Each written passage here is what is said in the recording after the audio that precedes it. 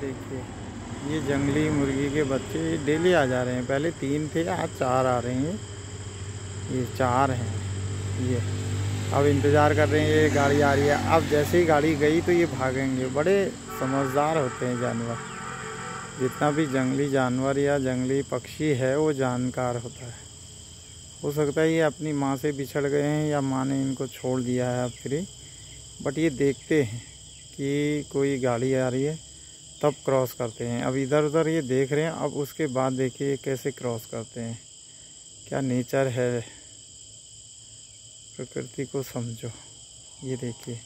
और ये एक साथ जाते हैं, एक दूसरे के साथ जाते हैं, एक के पीछे दूसरा ग्रुप में जाते हैं। ये इनकी खासियत है। ये देखिए ये देखिए कैसे देखिए, अब पार कैसे करते हैं? देखिए, ये देखिए, उड़ गए।